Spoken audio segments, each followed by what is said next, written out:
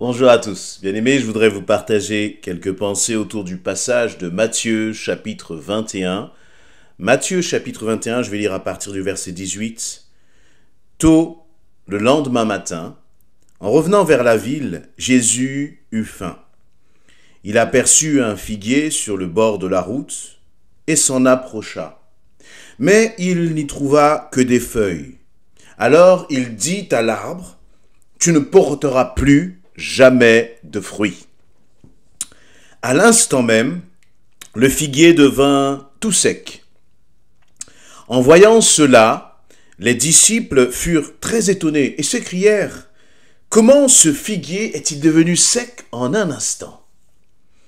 Vraiment, je vous l'assure, répondit Jésus, si vous avez la foi, si vous ne doutez pas, non seulement vous pourrez accomplir ce que j'ai fait à ce figuier, mais même si vous dites à cette colline, soulève-toi de là, jette-toi dans la mer, cela se fera.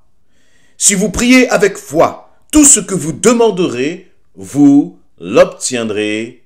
Amen. Voilà un passage qui est surprenant, qui est, j'allais dire, et qui nous interpelle et qui en même temps nous lance un vrai défi et me lance un vrai défi. Un vrai défi à notre vie de prière. Un vrai défi à notre vie de chrétien. Chrétien, j'allais dire, euh, simplement, on peut être un chrétien simplement euh, par euh, la doctrine, et c'est une bonne chose ou on peut être aussi un chrétien qui voit la doctrine qui est mise en action dans notre quotidien. J'aimerais que nous puissions euh, partager quelques pensées autour de la foi, autour de la prière, autour de la prière efficace, de la prière avec puissance, de la prière qui produit du résultat. Et dans ce passage, eh bien, nous voyons que il nous est dit que Jésus avait faim. Et donc il y a là un désir légitime. Jésus a faim. Et Jésus a faim et donc il voit un, figuier euh, et il va menacer. Il nous a parlé là d'un arbre qui ne portait pas de fruits, d'un figuier. Et donc euh, il va menacer cet arbre parce que cet arbre n'a pas de fruits. Eh bien il va d'une certaine façon le maudire en lui disant tu ne porteras plus jamais de fruits.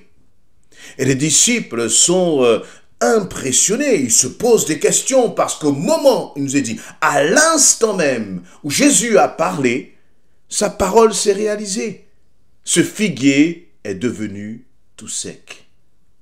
Et Jésus, en entendant les disciples discuter, il va leur dire, mais si vous avez la foi, si vous ne doutez pas, non seulement vous pourrez accomplir ce que j'ai fait à ce figuier, mais même si vous dites à cette colline, soulève-toi et jette-toi dans la mer, eh bien, la colline se jettera.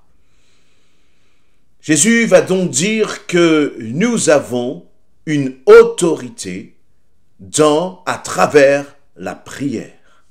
La prière n'est pas simplement une parole. La prière est une attitude de foi. Elle démarre, elle a pour source notre foi. Et la prière n'est que l'expression verbale orale de ta foi. Il ne suffit pas de croire, mais il faut aussi exprimer d'une façon audible ce que tu crois. Je ne vais pas faire, j'allais dire, une exégèse euh, de euh, la prière, mais je voudrais juste sur ce passage-là, regarder en fait et prendre le temps avec vous d'étudier ce que Jésus a fait, comment il l'a fait. Parce que tout ce que Jésus fait, il se, positionne en exemple pour nous montrer à nous ses enfants, pour nous montrer à nous ses disciples, comment le maître a fait. Eh bien, c'est ce que je dois faire. Quelle était l'attitude de cœur du maître? C'est l'attitude du cœur que moi, disciple, je dois avoir, que toi, disciple, tu dois avoir. Premièrement, il nous a dit que Jésus avait faim. Donc il n'était pas là en train de d'essayer d'obtenir euh, ou d'assouvir euh, un plaisir quelconque. C'était quelque chose qui était légitime. Et le Seigneur nous dit lui-même que, voyez, le nom de l'Éternel, c'est Yahvé Jiré, le Dieu qui pourvoit. Et il dira aussi que personne ne mendira de son pain. Donc ce que Jésus est en train de réclamer finalement, c'est quelque chose qui est légitime et pour lequel, eh bien, il sait que le Père va répondre. Et donc il va regarder cet arbre. Et je voudrais, je, je suis, et j'aime la façon dont Jésus a prié. Il va dire, tu ne porteras plus jamais de fruits. Peut-être que vous et moi, dans une telle situation, nous aurions prié en disant, oh Seigneur, que cet arbre soit séché à l'instant même. Mais ce n'est pas ce que Jésus a fait. Jésus a parlé directement à cet arbre. Et dans, à travers cela, ce que nous apprenons, et c'est ce que nous voyons dans la façon dont il va dire aussi aux disciples, il va leur dire, euh, euh, au verset 21, si vous avez la foi, si vous ne doutez pas, vous pourrez accomplir ce que j'ai fait à ce figuier. Mais même si vous dites à la colline, soulève-toi et jette-toi dans la mer. C'est-à-dire qu'il y a une façon de prier de Jésus qu'il a exercé à l'égard de ce figuier et qu'il montre aussi à l'égard justement d'une colline que nous pourrions déplacer. Il dit, vous dites à la colline, derrière ce figuier, derrière cette colline, cela symbolise justement comme l'obstacle que tu as besoin de déplacer. C'est, cela symbolise le miracle que tu as besoin qu'il soit accompli. Et cela symbolise donc la façon dont tu dois prier face à la maladie une maladie incurable, eh bien tu dois prier, non pas en demandant au Seigneur, mais en ordonnant à la maladie, en ordonnant au changement qui doit s'accomplir, à la guérison qui doit s'accomplir. Tu veux qu'il y ait une transformation dans ton couple? Eh bien, tu dois ordonner justement à ceux qui bloquent de se déplacer dans le nom de Jésus-Christ. Parfois, et je confesse, moi aussi, j'ai besoin d'être transformé dans ma façon de prier et le Seigneur me l'apprend. Et j'ai besoin encore de grandir à chaque nouvelle épreuve, à chaque nouveau combat. Moi, je vais demander, Seigneur, déplace la montagne. Et le Seigneur dit, toi, ordonne à la montagne de se déplacer. Et ce n'est pas tant, j'allais dire, la formule ou la façon de faire qui est importante mais ce que je crois, c'est que notre façon de dire les choses révèle l'état de notre cœur. Parfois, nous voulons, nous préférons dire, Seigneur, toi déplace. Parce que nous ne croyons pas, parce que nous n'avons pas la foi que le Seigneur a placée en nous. Tu n'as peut-être pas la foi que le Seigneur a placée en toi, l'autorité et la puissance pour chasser la maladie, pour euh, délivrer les captifs. Peut-être que tu n'as pas la foi en toi que le Seigneur a déjà placé en toi. La puissance pour que ceux qui fatiguent justement ton, euh, comment dire, ton couple, pour ceux qui sont en train d'éloigner tes enfants du Seigneur, peut-être que tu n'as pas la foi pour ordonner cela. Et comme tu as peur, comme tu n'as pas la foi, tu te tournes vers le Seigneur. Alors que le Seigneur te dit, je t'ai déjà équipé. Souviens-toi, mon enfant, comment je t'ai appris à prier à travers ma parole. Et donc parfois nous ne voyons pas l'exaucement de nos prières. Parce que là, comme le va dire l'apôtre Paul, nous ne recevons pas parce que nous demandons mal. Et ce n'est pas encore une fois, encore une fois, j'insiste, ce n'est pas tant une façon de prier. Ce n'est pas tant les mots que vous allez utiliser. Je suis d'ailleurs interpellé par euh, tous ces livres ou toutes ces, euh, comment dire, euh, propositions sur la prière de ceci, la prière de cela. Ok, mais je ne vois pas ça dans la parole. Je ne vois pas Jésus lui-même nous enseigner sur la prière d'intercession, la prière de supplication et la prière de ceci. Voyez, nous aimons des méthodes, nous aimons des choses toutes faites, mais je crois que le Seigneur n'est pas dans cela. Au contraire, le Seigneur veut qu'à chaque épreuve, à chaque situation, à chaque montagne qu'il y ait à déplacer, tu puisses à nouveau exercer ta foi.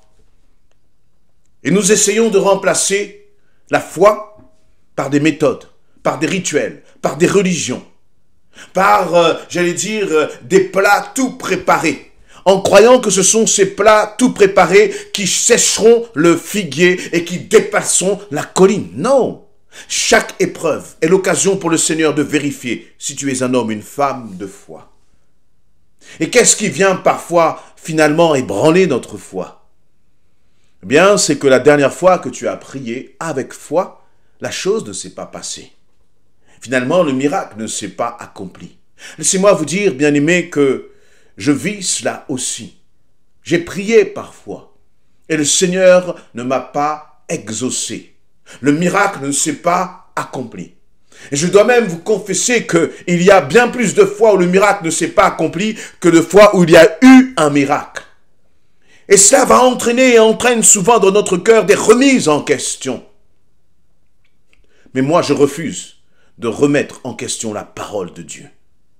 Il y a encore des choses, très certainement, que je dois comprendre, que tu dois comprendre sur la foi, sur la puissance de la prière. Mais qui peut dire qu'il a tout compris, qu'il a tout saisi? Aucun, personne. Et merci Seigneur que nous n'ayons pas tout saisi. Merci Seigneur que nous n'ayons pas tout compris. Mais ce qui est important, ce n'est pas le fait que j'ai tout saisi, que j'ai tout compris de la prière. Mais ce qui est important, c'est que je continue de chercher le cœur de Dieu. C'est que je continue de chercher la volonté du Père. Afin que sa volonté s'accomplisse à travers ma prière. Et c'est ce qui est important. Finalement, ce qui est important, ce n'est pas que toutes mes prières se réalisent, mais ce qui est important, c'est que la volonté de Dieu se réalise à travers ma prière. Parce que lui sait toujours ce qui est bon. Il sait toujours ce qui, je vais dire, est, bon pour nous, pour chacun d'entre nous. Et moi, ma responsabilité, c'est de faire confiance au Seigneur. C'est de continuer de prier avec foi. C'est de continuer d'ordonner aux choses, de se jeter dans la mer non pas pour ma gloire, mais pour la gloire de l'Éternel. Et Jésus, et, ce qui est important, c'est que ta foi ne soit pas entamée par les circonstances du passé. Que ta foi ne soit pas entamée pas influencé par les circonstances présentes, par les nouvelles que tu as reçues, par ce que tu as entendu et par ce que tes yeux voient. Jésus a vu un figuier qui était peut-être vert et il a ordonné à ce figuier. Combien de fois tu ordonnes toi aussi à la maladie? Et Jésus l'a fait d'une façon publique. Il ne l'a pas fait à voix basse pour ne pas que les disciples l'entendent en se disant, bon, peut-être que si le figuier ne, se sèche pas, je vais quand même prier à voix basse pour que personne n'entende. Finalement, la foi de Jésus, elle s'est révélée dans le fait qu'il a prié à haute voix. Il a prié avec assurance. Mais ce qui est aussi clé dans le cœur de Jésus, c'est que sa volonté est alignée avec la volonté du Père. Et donc quand il prie, il sait qu'il sera exaucé. Mais ce qui est quand même intéressant, c'est que dans ce passage, finalement, Jésus ne parle pas de la volonté du Père. La clé qu'il donne là pour l'exaucement de la prière, c'est la foi. Si vous avez la foi, alors je sais que nous sommes, euh, comment dire, euh, des champions de la doctrine et c'est une bonne chose et que nous allons dire que la foi finalement, elle vient de ce qu'on entend et ce qu'on entend vient de la parole de Dieu. D'accord, oui, mais Jésus ne le dit pas à ce moment-là. Il dit si vous l'avez la foi, si vous ne doutez pas. Et, et je crois que là je m'adresse à quelqu'un justement qui a prié tant de fois pour une situation. Et tu n'as pas vu le changement dans la situation. Et comme tu n'as pas vu le changement dans, cette situation que tu traverses, tu as laissé le doute s'installer. Et le Seigneur te dit, eh bien, reviens vers moi, prie avec foi, en ne regardant pas justement au passé, en ne regardant pas aux résultats du passé, mais en activant ta foi et en ordonnant à la situation de changer. Et Jésus dit au verset 22, je conclue avec cela, si vous priez avec foi, tout ce que vous demanderez, vous l'obtiendrez.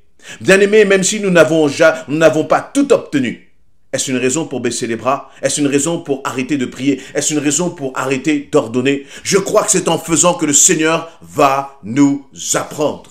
Alors persévérons dans la prière.